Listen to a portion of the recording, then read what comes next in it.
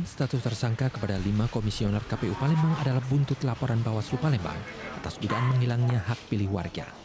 Bawaslu merekomendasikan pemungutan suara ulang di 70 TPS, namun KPU Palembang hanya melaksanakannya di 13 TPS.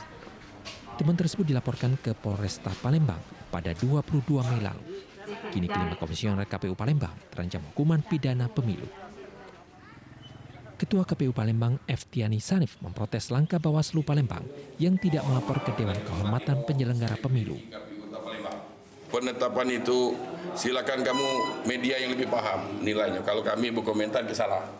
Yang jelas kami sudah mendapatkan pendampingan hukum atas dukungan KPU Provinsi dengan menunjuk kantor pengacara Sulastriana. Sri Sulastriana SH. Kelima komisioner KPU Palembang berjanji akan kooperatif dan tidak menghilangkan alat bukti pada semua tahapan.